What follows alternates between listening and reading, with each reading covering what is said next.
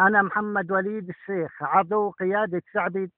الحزب في منطقة جسر الشغور أعلن اشتقاقي عن النظام الفاسد وألتحق بالثورة وأشكر كتيبي 111 على مؤازرتي بالوصول إلى تركيا